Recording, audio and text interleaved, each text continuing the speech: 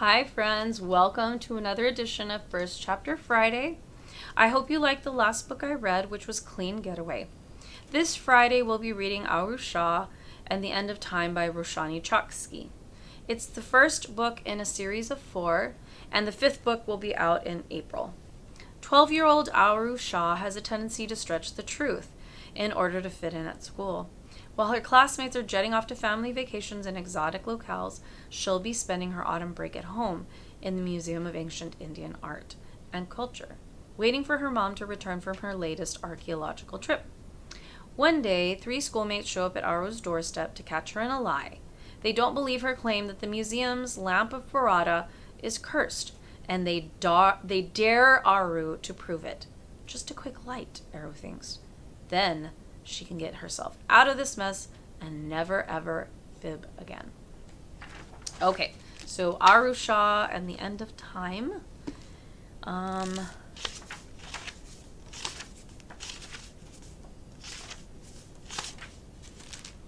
chapter 1, in which Aru regrets opening the door. The problem with growing up around highly dangerous things is that after a while, you just get used to them. For as long as she could remember, Aru had lived in the Museum of Ancient Indian Art and Culture, and she knew full well that the lamp at the end of the Hall of the Gods was not to be touched. She could mention the lamp of destruction the way a pirate who had tamed a sea monster could casually casually say, "Oh, you mean old Ralph here?" But even though she was used to the lamp, she had never once lit it. That would be against the rules. The rules she went over every Saturday when she led the afternoon visitors tour. Some folks may not like the idea of working on a weekend, but it never felt like work to Aru. It felt like a ceremony, like a secret. She would don her crisp scarlet vest with its three honeybee buttons. She would imitate her mother's museum curator, curator voice, and people, this was the best part of all, would listen. Their eyes never left her face, especially when she talked about the cursed lamp. Sometimes she thought it was the most fascinating thing she ever discussed. A cursed lamp is a much more interesting topic than, say, a visit to the dentist, although one could argue they are both cursed. Aru had lived at the museum for so long it kept no secrets from her. She had grown up reading and doing her homework beneath the giant stone elephant at the entrance. Often she'd fall asleep in the theater and wake up just before the crackling, self guided tour recording announced that India became independent from the British in 1947. She even regularly hid a stash of candy in the mouth of a 400 year old sea dragon statue. She'd named it Steve, in the West Wing. Aru knew everything about everything in the museum, except one thing the lamp. For the most part, it remained a mystery. It's not quite a lamp, her mother, renowned curator and archaeologist Dr. K.P. Shah, had told her the first time she showed it to Aru. We call it a diya. Aru remembered pressing her nose against the glass case, staring at the lump of clay. As far as cursed objects went, this was by far the most boring. It was shaped like a pinched hockey puck. Small markings, like bite marks, crimped the edges. And yet, for all its normalness, even the statues filling the Hall of the Gods seemed to lean away from the lamp, giving it a wide berth. Why can't we light it? she had asked her mother. Her mother hadn't met her gaze. Sometimes light illuminates things that are better left in the dark. Besides, you never know who is watching. Well, Aru had watched. She'd been watching her entire life. Every day after school, she would come home, hang her backpack from the stone elephant's trunk, and creep toward the Hall of the Gods. It was the museum's most popular exhibit, filled with a hundred statues of various Hindu gods. Her mother had lined the walls with tall mirrors so visitors could see the artifacts from all angles. The mirrors were vintage, a word Aru had used when she traded Burton Prater, a greenish penny, for a whopping two dollars and half a Twix bar. Because of the tall crepe myrtles and elms standing outside the windows, the light that filtered into the Hall of the Gods always looked a little muted, feathered almost as if the statues were wearing crowns of light. Aru would stand at the entrance, her gaze resting on her favorite statues Lord Indra, the king of the heavens, wielding the thunderbolt, Lord Krishna playing his flutes, the Buddha sitting with his spine straight and legs folded in meditation, before her eyes would inevitably be drawn to the diya in its glass case. She would stand there for minutes waiting for something, anything that would make the next day at school more interesting, or make people notice that she, Aru Shah, wasn't just another seventh grader slouching through middle school, but someone extraordinary.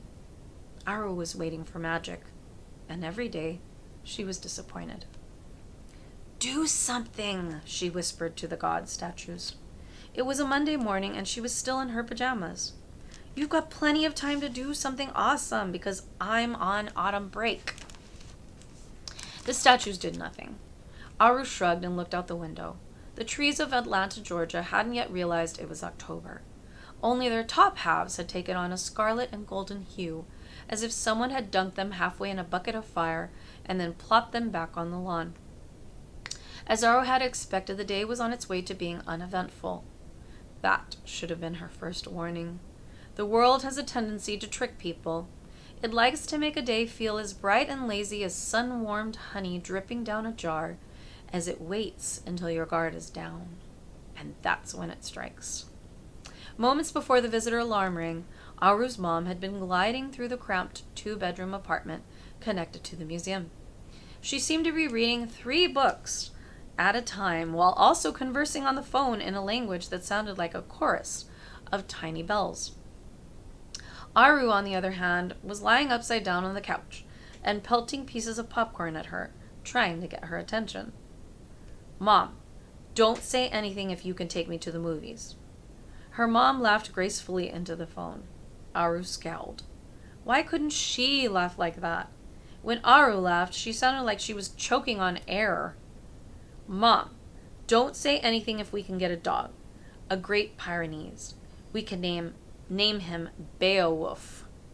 Now her mom was nodding with her eyes closed, which meant that she was sincerely paying attention. Not just not to Aru. Mom, don't say anything if I Breep, breep, breep.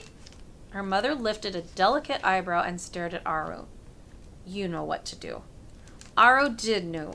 Aru did know what to do. She just didn't want to do it. She rolled off the couch and Spider-Man crawled across the floor in one last bid to get her mother's attention. This was a difficult feat considering that the floor was littered with books and half half empty chai mugs. She looked back to see her mom jotting something on a notepad, slouching. Aru opened the door and headed to the stairs. Monday afternoons at the museum were quiet. Even Sherilyn, the head of museum security, and Aru's long suffering babysitter on the weekends, didn't come in on Mondays. Any other day, except Sunday, when the museum was closed, Aru would help hand out visitor stickers. She would direct people to the various exhibits and point out where the bathrooms were. Once, she'd even had the opportunity to yell at someone when they'd patted the stone elephant, which had a very distinct do not touch sign. In Aru's mind, this applied to everyone who wasn't her. On Mondays, she had come to expect occasional visitors seeking temporary shelter from bad weather, or people who wanted to express their concern in the gentlest way possible that the Museum of Ancient Indian Art and Culture honored the devil, or sometimes just the FedEx man needing a signature for a package. What she did not expect when she opened the door to greet the new visitors was that they would be three students from Augustus Day School. Aru experienced one of those elevator stopping too fast sensations. A low whoosh of panic hit her stomach as the three students stared down at her and her Spider Man pajamas. The first, Poppy Lopez, crossed her tan, freckled arms. Her brown hair was pulled back in a ballerina bun. The second, Burton Prater, held out his hand where an ugly penny sat in his palm. Burton was short and pale, and his striped black and yellow shirt made him, made him look like an unfortunate bumblebee. The third, Ariel Reddy, the prettiest girl in, her, in their class, with her dark brown skin and shiny black hair, simply glared. I knew it, said Poppy triumphantly. You told everyone in math class that your mom was taking you to France for break. That's what mom had promised, Aru thought. Last summer, Aru's mom had curled up on the couch, exhausted from another trip overseas. Right before she fell asleep, she had squeezed Aru's shoulder and said, Perhaps I'll take you to Paris in the fall, Aru. There's a cafe along the Seine River where you can hear the stars come out before they dance in the night sky. We'll go to boulangeries and museums, sip coffee from tiny cups, and spend hours in the gardens. That night, Aru had stayed awake dreaming of narrow, winding streets and gardens so fancy that even their flowers looked haughty. With that promise in mind, Aru had cleaned her room and washed the dishes without complaint. And at school, the promise had become her armor.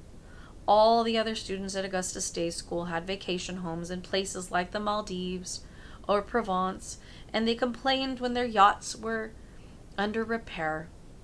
The promise of Paris had brought Aru one tiny step closer to belonging.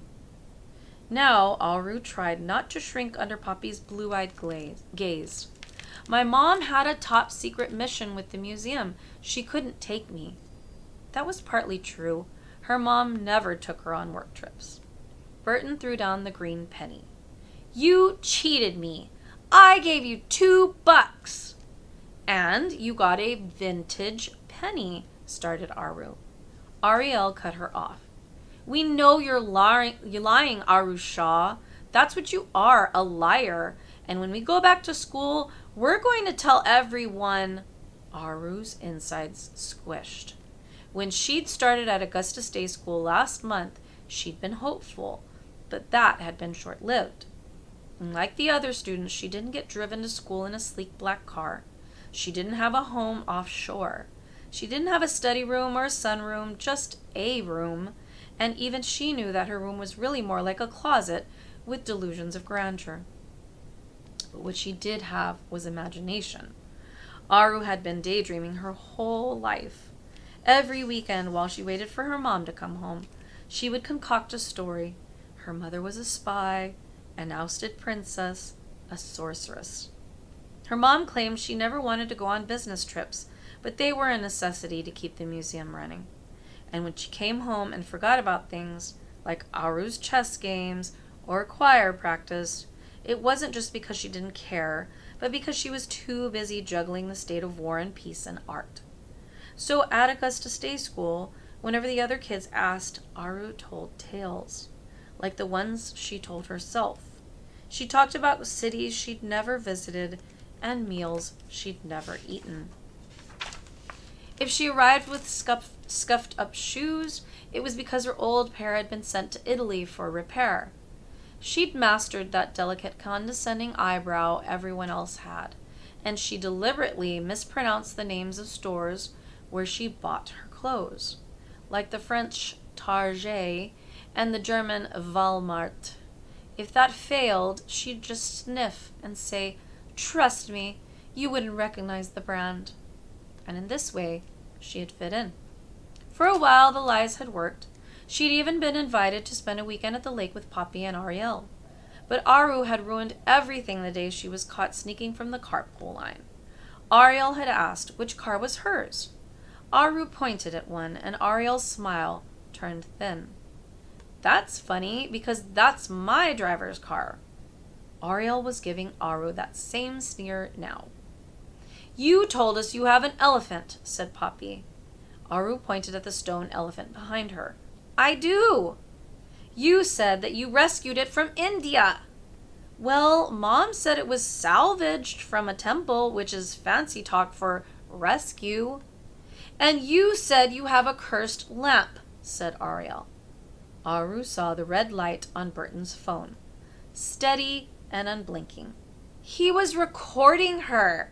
She panicked. What if the video went online? She had two possible choices.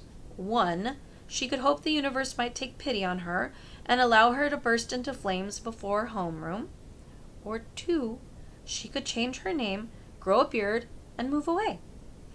Or, to avoid the situation entirely, she could show them something impossible.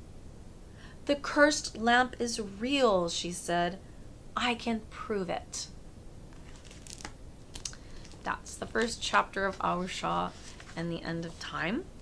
If you liked the beginning of this book, come on in and check it out. We have the first um, four books of the series in the library, and the first three books are on our Overdrive app as well. So we'll see you next time.